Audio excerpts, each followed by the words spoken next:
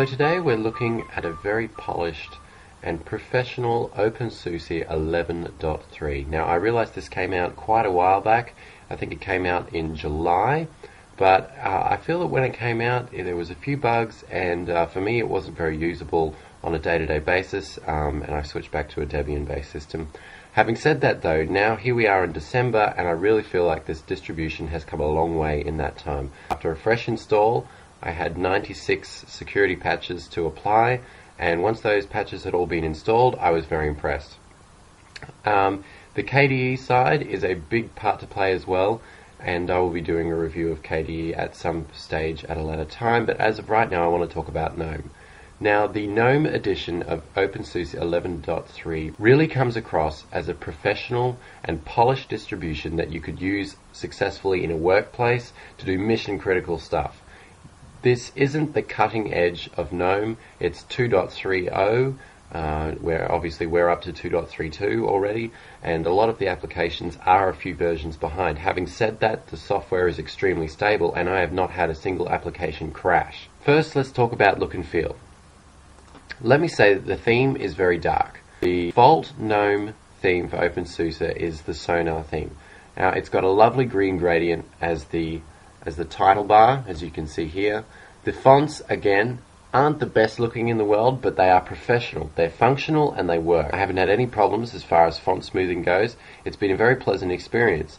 Um, I have had issues with font smoothing with KDE, but for the GNOME distribution, I'm quite impressed. The default backgrounds, they don't give you a lot. They only give you the uh, space slideshow, they give you a green leaf one, which is typical of a lot of GNOME desktops. This one is the one from 11.2, which again, very dark, very professional, and I really like this one in particular. It really conveys that professional stability that OpenSUSE is famous for. So now let's talk about the menu. Now I know some people don't like the menu. I'm not going to spend a whole lot of time on it. It's functional, it works. Yes, it could be improved, but I'm not going to go too much into it. Basically, the only quibble I have with it is that when you search for something like, let's say, new document, instead of filtering and giving you the results in, in a filtered inside the menu, you press enter and it brings up the tracker search tool which uh, then gives you the search results. It gives you different applications that you could use, and uh, beginner's guide, uh, and different and different documents, all filtered out by their um, by their categories. Now that's all very good, um, but again, it's opening up another dialogue and kind of uh, separates the experience from the user. Same thing with more applications. You would kind of expect the menu to kind of slide across here with more filtered categories as to what applications you could run, but clicking on more applications brings up an application browser. And again, this is very functional, and I think a lot of people would find this useful if they were trying to find an application fast and uh, they weren't exactly sure which category to look under. It gives you all the categories there at a glance, and then you can filter them, and it just simply highlights the ones that you've installed. Now, bear it in mind, I've installed a lot of extra uh, applications, not heaps, but I have installed some extras. Uh, Google Chrome, Opera, uh, XChat was installed by default, but a lot of multimedia stuff and things like that. But let's we'll get into that later. Okay, next I want to talk about system management. Now, by default, we have the GNOME Control Center, which, and again, this is the same centralized approach that we saw with the more applications and also with YaST. And we're going to talk about YaST in a little bit. But you can see the similarities here between all these windows is that they're all filtered, they're all categorized, and they all look very similar. This is great from a central user standpoint, used to Windows, where everything comes in its own control panel.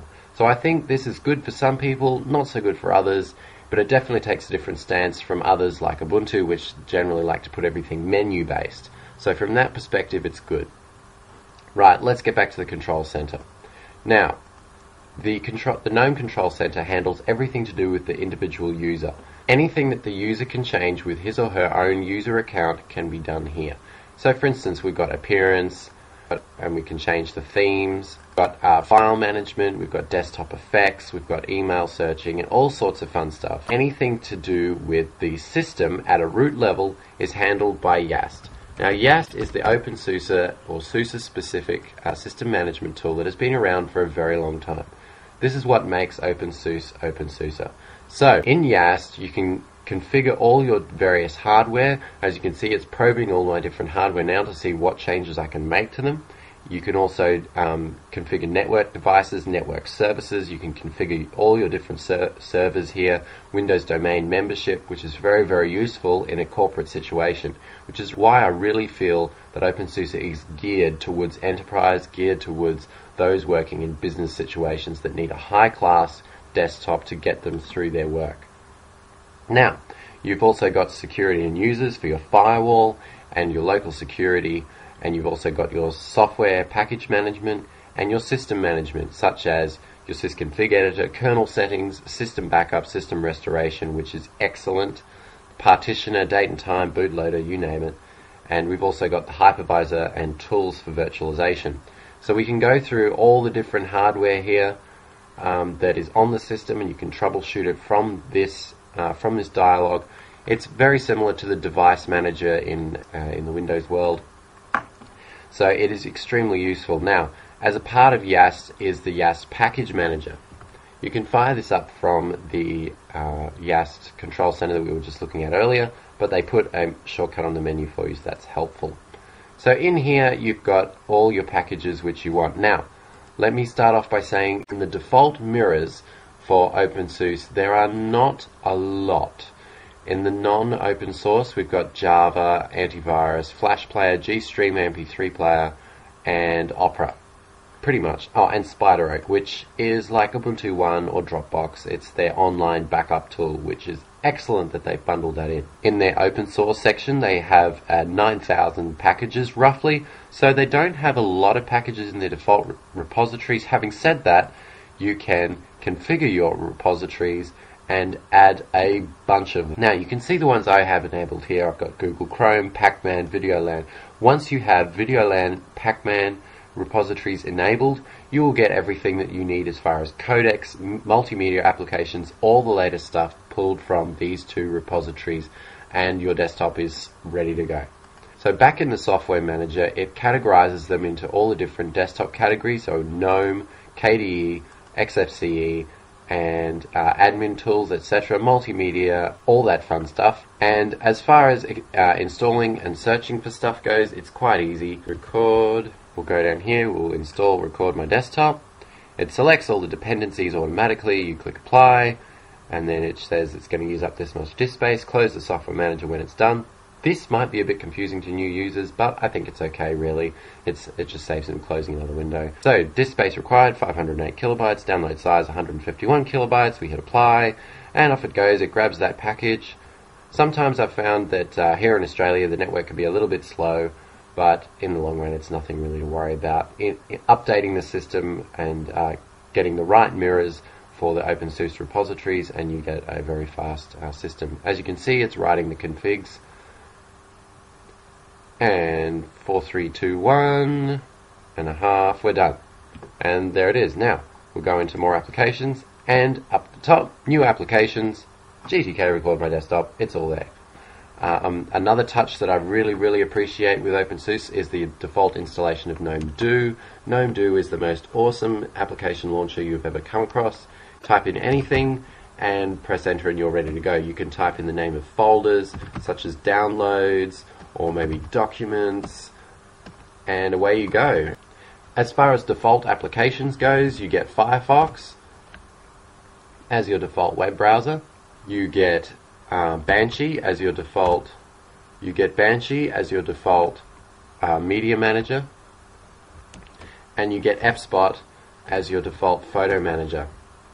Now, obviously, this is quite different to Fedora and uh, Ubuntu in the fact that they're not steering clear of the mono applications, as there are many, many mono applications available.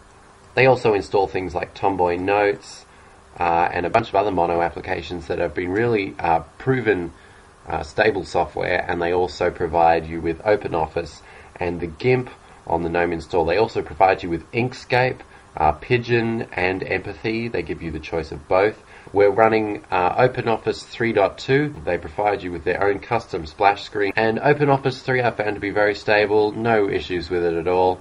Overall, it's a very professional release. Now that it's stabilized out, I'm really happy to use this as my go-to uh, dis- distribution when I need to get work done. So I'd have to say the OpenSUSE GNOME edition I'm very happy with. I've had some issues with the KDE edition, but as far as the GNOME edition goes, a lot of people are concerned that it doesn't get enough attention and that it really gets neglected in the face of KDE 4. But I really believe that's not the case, and uh, I've been very impressed with OpenSUSE as the GNOME desktop. OpenSUSE is definitely geared towards those who need quality software. They need a large quantity of quality software that's ready to go, that's stable, it's tested, and it's not going to crash out on you. I believe it's geared towards those who like simplicity. They don't like a lot of eye candy. They need a machine to get work done. And this machine does not distract you with system errors. It does not distract you with extra fluff that it doesn't need. It's lean, it's mean, it gets the job done. And I think that's what sets OpenSUSE apart. It's a professional power user distro that is ready to get your work done.